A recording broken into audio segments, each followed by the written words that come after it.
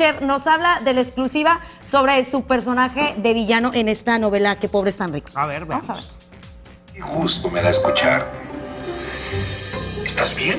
¿Necesitas algo? No es el tipo de papel al que está acostumbrado, pero Marta Thatcher le ha dado un giro a su nivel interpretativo con Alejo Ruiz. En 18 años de carrera es la primera vez que tiene en sus manos el papel de un villano, el cual le ha dejado satisfacción ya que rompe con el cliché de los antagonistas. Por lo menos a mí, lo que también estoy muy agradecido con el público es que por lo menos no se cumple conmigo esas historias que uno de repente escucha, ¿no? Que, que te apedrean o te la pidan, ¿no? En la calle por ser el malo, ¿no? A mí se me acercan y me dicen, Chiqui, eres muy malo.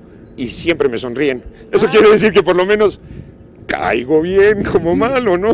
Y el tomatazo, y dices, no, no, espérate, no, buena onda la gente, la verdad que se me ha acercado siempre con, con todo el respeto, con, con mucho cariño y siempre con una sonrisa en la boca. Entonces está padre para hacerlos reír esta novela, está bonita. Tras concluir las grabaciones de la telenovela Que pobres tan ricos a inicios del mes de mayo, Marta Thatcher andará de gira por la República Mexicana. Estamos eh, a punto de estrenar una obra de teatro.